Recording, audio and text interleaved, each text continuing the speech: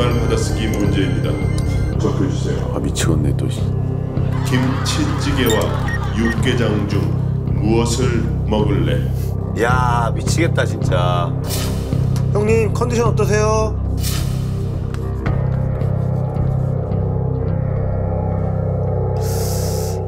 예측 결과를 공개합니다.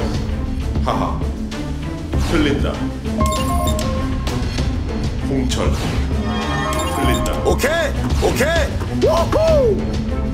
박명수 씨, 왜요? 본인이 표기한 답이 정답일 것 같습니까? 오답일 것 같습니까? 오답 오답 오답. 정답 몰라. 지금 모르겠어요 나도. 정답. 우리가 틀리면 명수 형이 최후의 승자야. 맞아. 박명수 씨가 적은 답은 김치찌개의 맞춤법이 틀렸습니다.